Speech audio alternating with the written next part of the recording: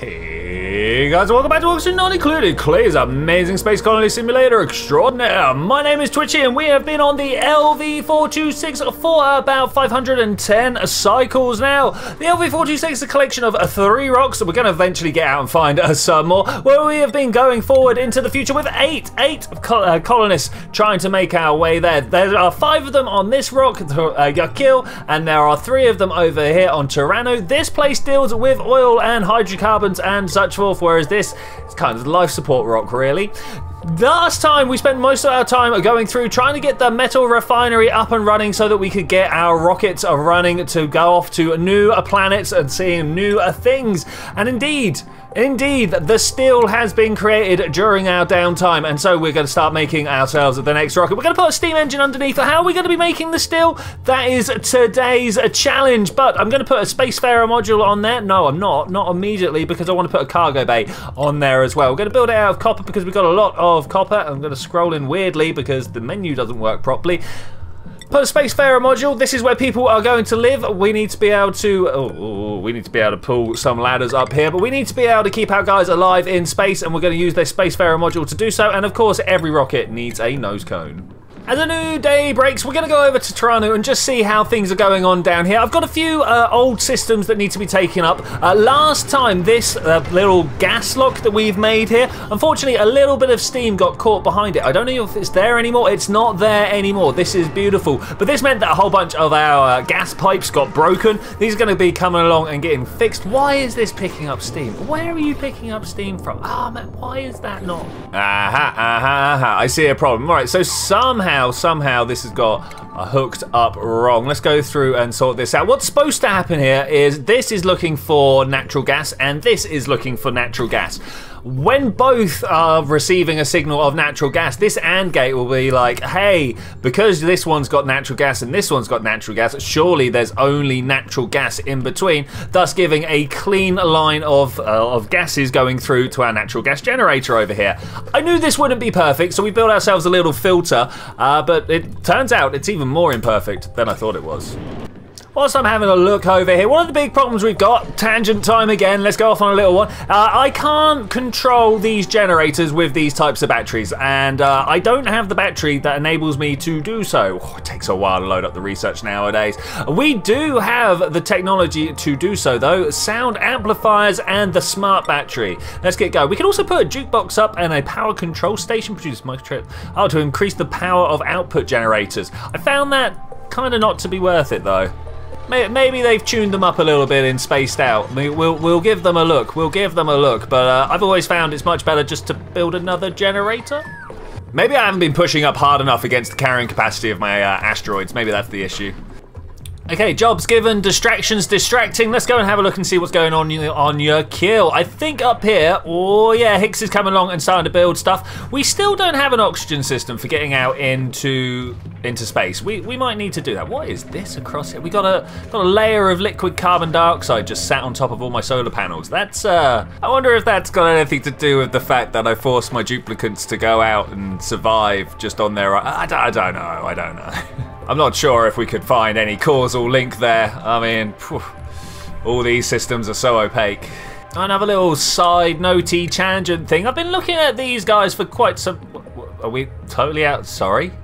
We're out of copper ore. We're nearly out of iron ore. Sorry? Well, that's, that's a thing, isn't it? Well, I wanted to go through here. Looks like we're going to get ourselves some copper ore anyway. Not not quite the circumstances I wanted to be digging this copper all up, but we'll, we'll, we'll do it anyway. I'm going to put a small corridor in there, and I am going to put a pneumatic door at the end. That's right, I want to turn this little space as soon as I remember where things are. Furniture, it's obviously in furniture. We're going to turn it into another nature reserve place. It's got two two little plants, and a whole bunch of sweetles to look after. So, I mean, this should be lovely for people to come and chill out here during their downtime. I don't think there's a more appropriate place closer to. Oh, look. Oh, no, it's only got one. I suppose we could connect these two areas up and then have one. I don't, I don't know. You need two two wild plants. One's not in farm plots to uh, to count as a nature reserve. Or it's a park, actually. On the room overlay here, park, you get the morale, and nature reserve, you also get a morale bonus. Uh, two wild plants, or four wild plants. It's all done on the number of plants. Okay, crazy. I suppose not crazy. It makes an awful lot of sense. Oh, uh, oh, it's been built. We've got a new rocket, the Virgo 2. Are, are people going to be able to get in there? New interior. Oh, look, it's huge. It's huge. Diamond windows, steel outside. Oh, I love it. Rocket control station. How how are we gonna get? Oh, I mean, it's huge. What are we gonna do with this? Two bedrooms, some sort of oxygen supply, power, storage down the middle. I don't know. Maybe down the middle is not a great idea. Maybe, maybe, maybe what we want to do is put a ladder just in front of the door. And that way this door space is being used sensibly. You're right, Hicks, there, mate. You, are doing it. I, I kind of wanted you to be working outside. I didn't realise the, uh, the building the ladder was so important. It's not that important. What are you doing in here? So the oxygen mask checkpoint does work in a small space. We could probably knock down this stuff here. I was just starting to see if we could uh, make some space down the bottom, but I reckon if we deconstruct this and the gas pump, we'll, we'll have a little sacrificial room here where, where gases can be lost. It's not too big, shouldn't be too bad. Oh, carbon dioxide turns solid so quickly. I was like, oh, does this mean that I've got a liquid that we can chill down really far? No, no, we don't have a liquid we can ch chill down really far. I was going to pump all the carbon dioxide that's coming up via this pipe here into a room and then just pick it up and see if I could chill it down further and then start condensing other gases. It doesn't work like that, unfortunately. What about chlorine? What, what does the liquid state of that survive in? We don't get solid chlorine, you say? Ah, 110. I mean, that's a little bit better. Ranch Farmer! Rancher Farmer! We've been after this one for a little while. Bit weird that it's got allergies and we're welcoming Call to the team. Yes, from Alien Resurrection. Welcome, welcome. We need to make sure that you have a place to live. Here we go. You're down here. Welcome, welcome. And you've got a mess table. Nice. Uh, Oh, it's been a while since we've had a new duplicant. I need to go around and do things like skills, priorities. Oh, so much stuff. Oh, obviously farmer. Well done. Welcome. Welcome. So Ripley Ranch is over farming, so we're going to put Call down as farming over ranching. Both still high priorities, though. Oh, forgot the hat. That's important. Away she goes, doing the thing. Brilliant. Oh, this is great. This is great. She's very slow. Very slow compared to the others. That's a bit of a shame. Right, how are we doing up top? Do we have anything that even... No, not, not yet. Unreachable build, you say? I disagree. Oh, is it because we've got... Yeah, checkpoints with no oxygen mark. Okay, so the other thing we need... Oh, look, the batteries are coming. Beautiful, beautiful. Is it in the stations? We need a workstation? Crafting station. Crafting station. There we go. That's what we need. And with this crafting station, we need about three of these oxygen masks. Okay, first oxygen mask has been made. How long is it going to take to be delivered up to the top? It could take some time. It could take some time, but we'll see. Okay, having set up the repair order to just run forever, all the masks are being left on the floor here. This normally means that nobody thinks this is important enough, so I'm just going to encourage things along because it is what is holding us up here. Okay, here comes Hicks and Bishop, and Ash is bringing up the the rear. Uh, that's going to be fine. That's going to be fine. What's going on? Oh, it's Ripley. I thought it was Bishop. My bad, my bad. Uh, okay, so that that's going well. Are people going to be able to just use it now? No, we got we got we got to stock up the oxygen first first.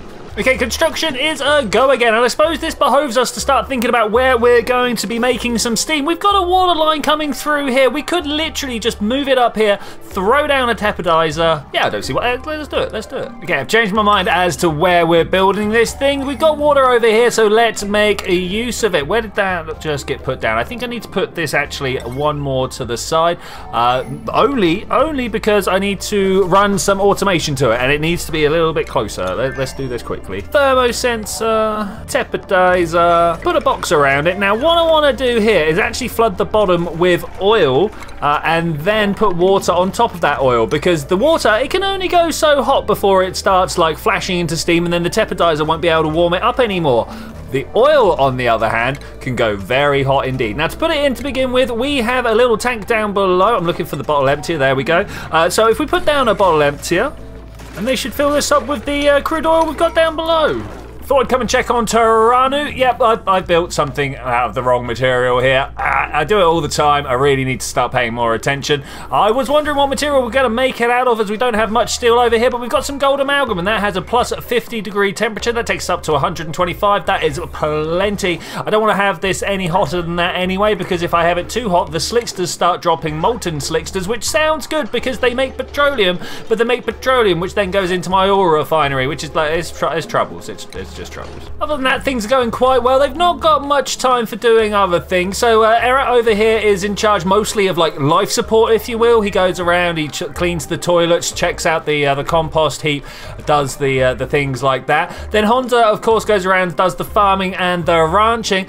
and uh, Randomers is trying to catch up on a backlog of lice loaf making that uh, that needs to be done. Uh, turns out I had this microbe musher down at far too low a priority, and everything else was taking uh, taking the focus away from that. Once this gets caught back up with, only got a few more lice loaf to go. Hopefully randomers should be able to get back to uh, to making all of these wonderful pipes. There might be a small hiccup in the plan, even with this entire pit emptied out and all the materials that we had down here that we emptied out, all the crude oil, sorry, that we emptied out of these pipes when it was over full, is still not enough to flood this liquid tepidizer. So I've had to go over to Terranu and ask for this little bypass here to be installed again. And as you can see, we have got a bit of a flow going. It's going over towards the teleport machine where it is going to get itself back over to Yakil and start filling in this pit again. Hopefully at that point everybody will start emptying bottles back down here. Whilst we were into the sides here, I've decided to take the opportunity to go and mine some copper ore. Uh, am I going to go get it all or am I going to wait and come down this way? I think I'm going to wait and then come down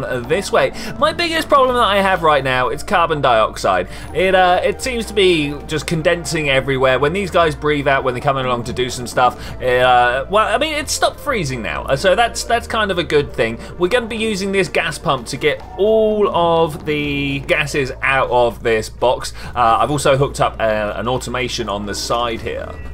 Oh, I forgot the crude oil would be remarkably warmer than everything else. That's fine though, because we've got it all the way over here. We are miles, well, not maybe not quite as far away from the actual base as I thought it was, but there's like cold everywhere. So I think we should be fine just having this little bit in here. When it gets full up a little bit more, I'm just going to go across and disconnect that pipe bridge that we've got over here, the liquid bridge. Oh, the the uh, uh, the plastic has been, producing non-stop since we set this system up and we are rolling in it right now. It's not all here, unfortunately. Well, or fortunately. Uh, most of it is in a pile right here. 11 tons. Amazing.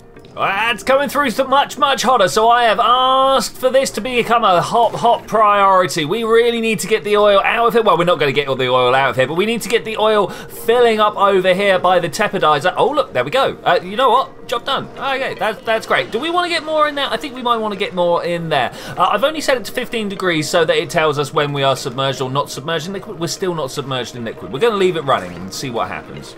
Okay, roughly 200 kilograms of tile, I think we're going to leave it there. I need to destroy this pitcher pump. We need to get this bit of igneous rock out of here. And then we need to build a thermally insulated wall down here. Whew, then we can start thinking about actually get pumping the gases out, getting some water in there, and we'll have like a steam supply. Hey, Ripley, I mean, I, I appreciate what's going on here, but I, I did say stop. Another thing I've got to do, I've got to rip down this pump here. It has got this line of waste gases coming all the way up here. We used to sort it to carbon dioxide and put it in the carbon dioxide rocket, but of course we don't do that anymore. So I'm also getting rid of this a gas filter, and we're going to have a high pressure gas vent that we're just going to pump a whole load of stuff into. We, we need to get rid of the gases that are in this line, and this is how we're going to do it leaving us somewhere where we can send this pump to whilst we try and empty out the box.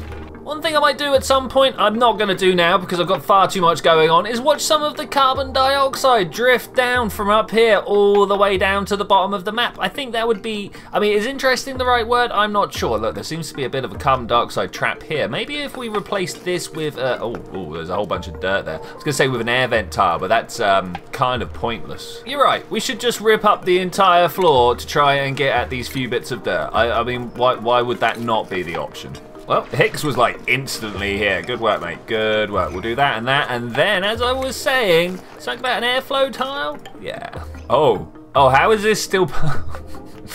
Uh, we got a problem. We got a problem. Uh, let's go over to Tyranny. oh, no. Right, we're going to rip down this pump over here, uh, that pipe over there. Oh, man. Uh, and, and may, maybe let's break one of these. Go. Go on, Bishop. Thank you. If you, if you could, that would be great. Okay, well, we got we got a little bit of a, an issue here. Not not the not the worst issue in the world because we did want to warm all this up. What's going to happen if it drips down here? It's not the end of no, it's, it's even going to catch in this basin. Okay, we're, we're going to be fine. We do have some other issues. Let's set up another bottle emptier over here. Try and get this all swept up and emptied into uh, into the hole. So when you do this with water, when it gets completely overfilled, this liquid vent says that it's over pressure, 100 kilogram, 1,000 kilograms. So at the moment, crude oil only stacks to 878 kilograms. Okay, that's, uh, today I most definitely learn. Oh no, they're building the wall and I don't know where this bit of granite's going to go. I, I, really hope it doesn't get pushed into the box. It, it, wouldn't be the biggest problem in the world. It would be, uh, I don't know, just like having a lump of something hot inside your water tank. It wouldn't be a big problem, but I, I kind of don't like it. All right, good. Thank. Ooh, it worked. It worked. Okay, the control is in place. Let's toggle this off for a second. I just want to make sure everything's okay. So that's just going to go out and straight up to that high pressure gas vent. Do we have anything in here we need to worry about? Not by the looks of it. All right, let's uh, flip that switch and watch this box empty.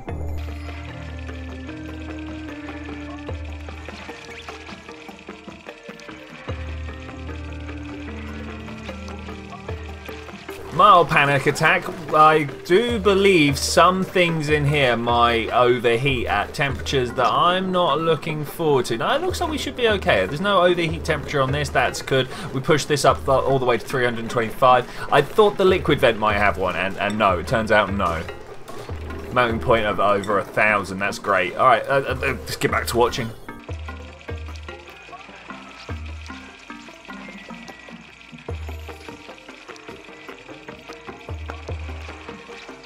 Ah, oh, just in time for downtime. That's great. Well, I mean, it's kind of not because we now need to pump some gases in, but let's turn this switch off and let's turn this temperature up to 200. It's going to take a little bit of time to get there. I am told that the te- Don't tell me it's not. Why? Why? No. No.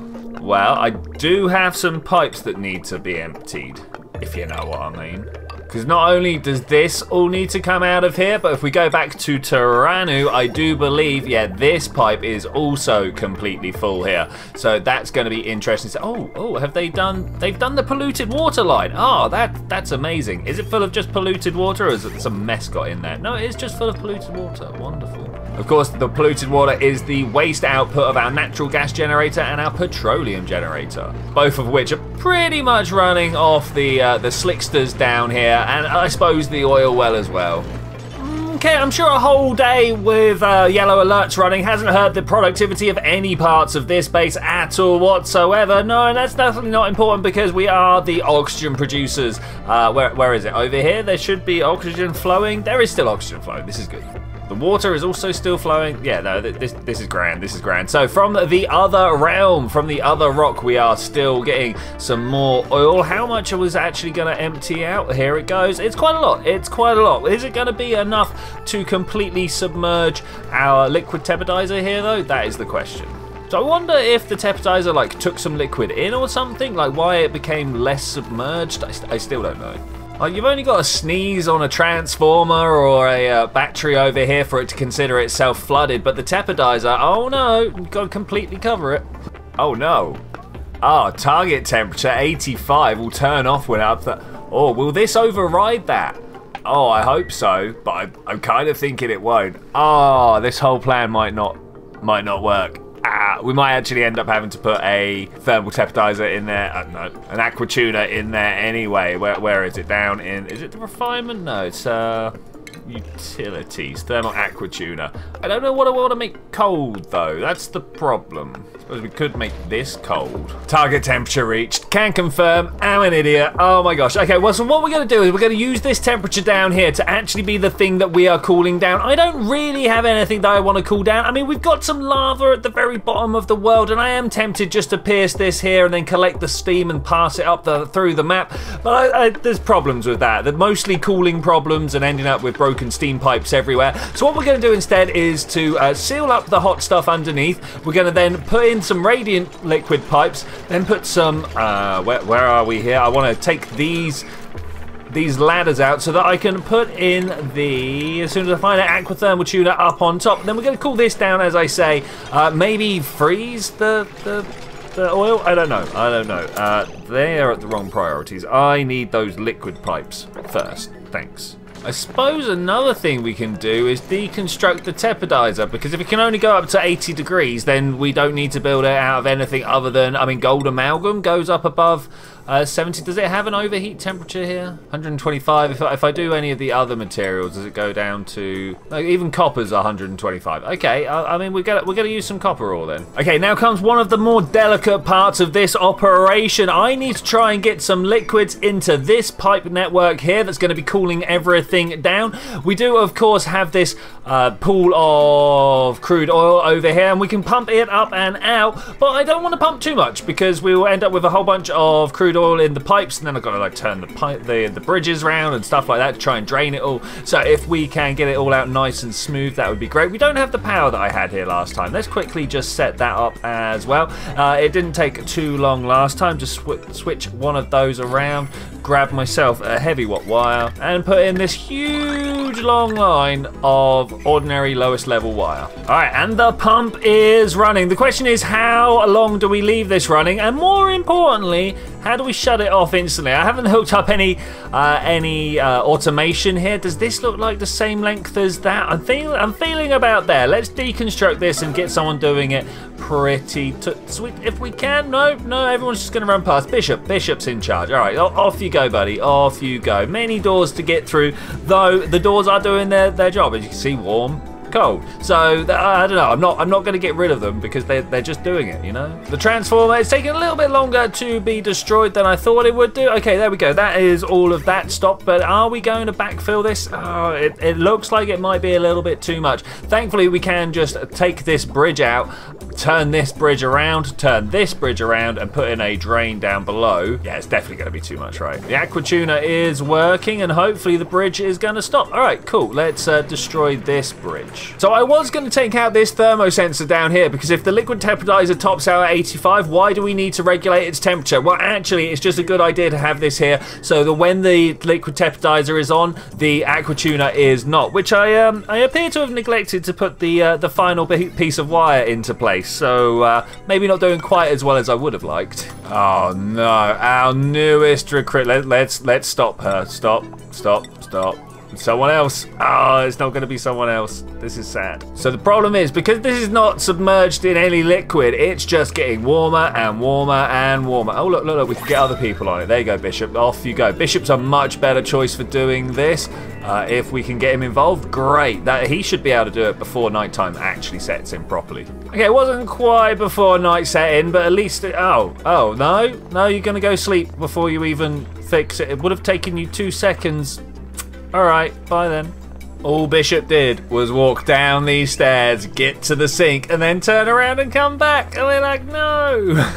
Okay, I've got a steam box here that I would only ever build if I was changing plans halfway through a build. Uh, it seems like it would work though. I've uh, unhooked up the tepidizer from this output, from this uh, thermo sensor down here because it was the wrong way around and uh, that, that's fine that's no big problem there. The only thing we really need to do is to hook up one of these pipes. I was going to say hook up one of these pipes to this water line over here but I've, I've just noticed that my my gases are not turning. Now I know this is not turned on but it should just go past to this liquid pipe and get dropped out. There's a little bit of crude oil in there. I wonder if that's too much.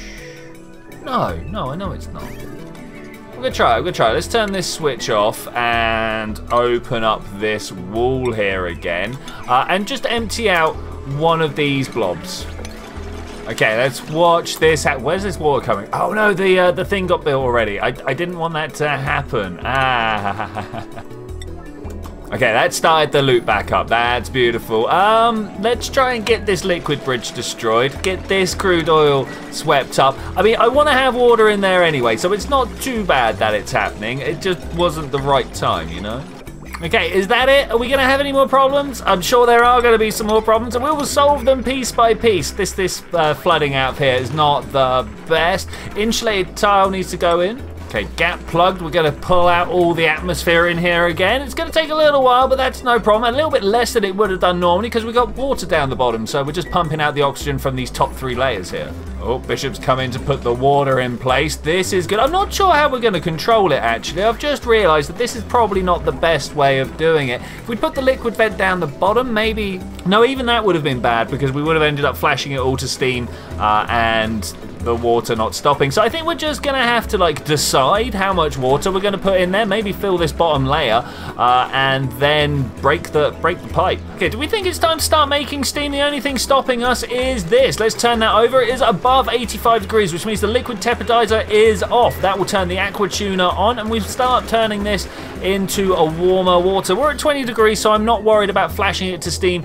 before we get rid of the oxygen. Of course, I do need to turn this switch off before we do turn any of it to steam. Uh, we, we, we, do just don't want to mix any, well, we'd be dumping the steam out here at the moment, but well, of course, we want to get it in the rocket. Okay, interesting situation here where the tepidizer, uh, the thermal aquatuner is chilling this area down before it chills the side of the tepidizer. So this reads a lower temperature than the tepidizer is actually at. I might turn this down to 84. Uh, the thing is, I really, I really don't want them both coming on at the same time. That's going to be an instant wire overload. So we'll, we'll just leave it like this, I suppose. This is me wishing I'd used pre-warmed water. There's so much liquid in here that this aqua tuner is going to take a long time to raise it. We've already taken it up from like 18 up to 22, but it's going to take some time. Well, it's taken far, far too many cycles. I started counting about 15 cycles ago, but we are finally at the point where the water is starting to reach 100 degrees. Actually, about 98. We're going to need to take it up to 103 because there's like this weird phase transition state that Klei have put in. Because if you can imagine it, if it's exactly 100 degrees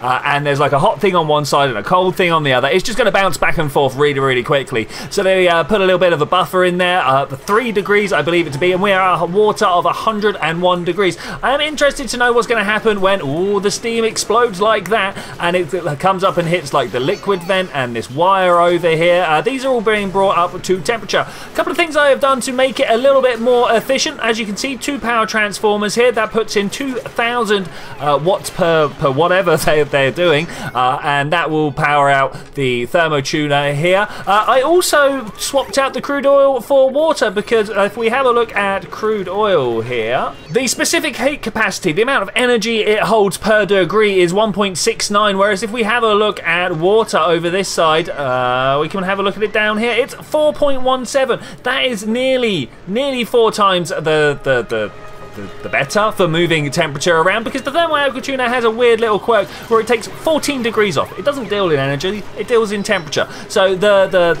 liquid with the higher specific heat capacity used, the better. The next step would be, of course, to hook up this little gas bridge here and take it all the way up to our rocket at the top here. We need to set some cargo. We need to set up a interior to send these guys over to Cherubi, but I'm going to see you guys then when we're going to do that. Bye.